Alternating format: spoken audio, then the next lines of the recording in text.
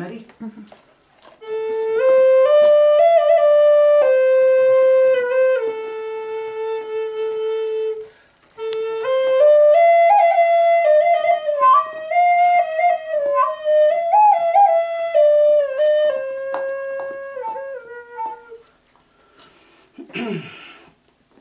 Mbetu washte, hieni washte.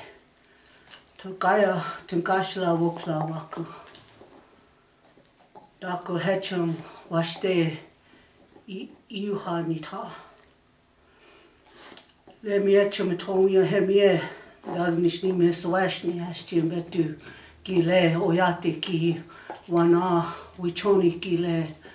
Na dako hechamini wachoni gile nita.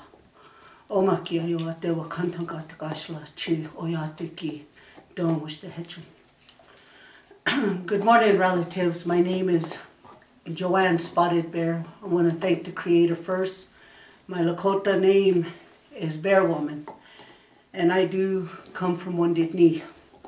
What I'm holding here is a flute that was given to me by a good friend of mine named Goat. He's a Paiute from Pyramid Lake and what I have in front of me here is a treaty that was um, ratified by the U.S. government.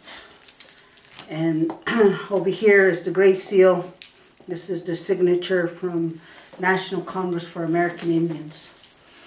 What I have to say today is very important because it has everything to deal with the United States government. On one side, we have um, what we have here is two different stories, but mainly the same. Uh, so what I'm going to talk about is the United States government as a four-time bankrupt corporation, the uh, Revolutionary War, the Civil War, the Union War, and in 1933 was the United States bankruptcy. And on this side, we have the treaty of 1851-1868, which is this treaty here that's been ratified and never re-ratified. And when the United States went bankrupt in 1933, 12 years before the original building, it was then um, handed over to the United Nations and the United Nations never re-ratified. Therefore, the United States of America is a corporation operating under name only. The United States of America Corporation was born in 1776, whereas um, it was it's just like the welfare office where they hand out food stamps. It's um, a, a corporation such as the welfare office cannot make states. Therefore, that was a illusion of the United States, a delusion of the United States government that has uh, um, created these states to overpower indigenous entities, our nations, and to be wiped off the face of the earth. So what happened is what the government did not expect was the great Lakota nation, the great Teton nation, to be um, have as many Lakota, Nakotas, or, or Dakotas across the land, where at one time we used to go from all the way from um, South Carolina all the way up into Canada through um, um, uh, almost by Denver all the way up into Canada where it uh, almost touched Alaska. And during this history time, um, uh, the first way I know how to start it is this. um, uh, Custer, General Armstrong Custer, was supposed to make sure that the train went all the way across the United States. However, he went 300 miles out of his way into Montana where he got killed.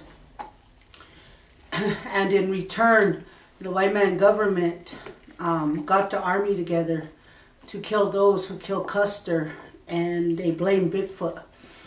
At this time, um, before anything, I, I want to um, try to stick to what I'm saying. There's so much in history that, that you try to stick to the basics. So what I want to do is I want to stick to the treaty and I want to stick to, to what is here. Okay, what we have here is, um, is, uh, we have, um, the United States has a, has a unique legal and political relationship with the Indians. Um, we are known as Indians or indigenous or Lakotas, and there's 564 federal recognized tribes where Obama promised to meet with 564 federal rec- recognized tribes while he was in office, and he um, met with them for two years, and the last four years failed to do so. This next one, it um, uh, in Article 6, Clause 2, it states that treaties are supreme law of the land.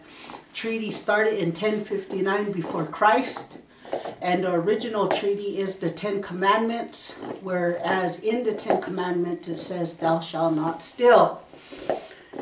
Okay, so right here in, in um, the, the Public Law 95 608, it says that Indians have a right to self-govern.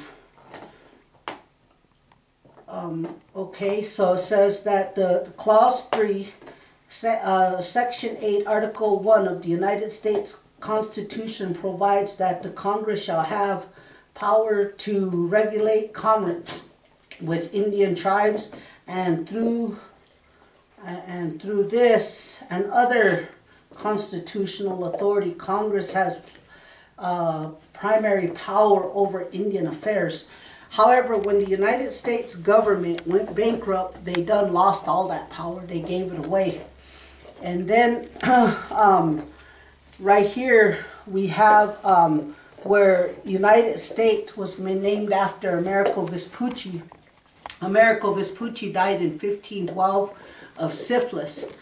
And this is what's really important around the world. Although many of you know the truth, if you believe in God or Inshallah or Tunkashallah or whoever it is, if you can't tell the truth, then there, then what's the use of talking about heaven?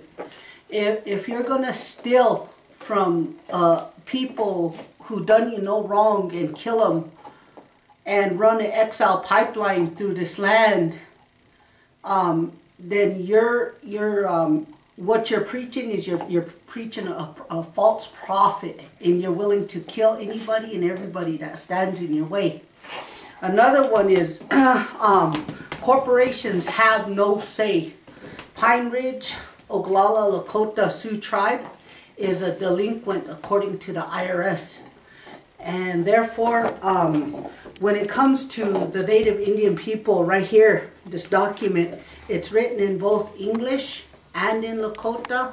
And what happened is they used to um, take our Lakotas and tell them one thing in Lakota, and then in English they tell them another thing. But those of us who was bilingual, we can we can talk both English and Lakota, and we understood. But those of us who understood English, Lakota, and politics, then we really understood what was going on. So I asked my aunties and my uncles and all my relatives to please bear with me, to, to help and never stop praying for our Lakotas. Mini Wichoni, that sacred water, Unchiwaka, Mother Earth, our people, our relatives, our seventh generation. Um, thank you for always showing me and, and helping me to learn what was taught to us, the peyote ways, the, the chanupa, the eagle feathers, the drum, the way of life for our people so that we can continue to live and, and teach our people to live. Hohechetelo and say thank you for that in that good way. And thank you for video recording this. And uh, hope you I taught you something. Hohechetelo.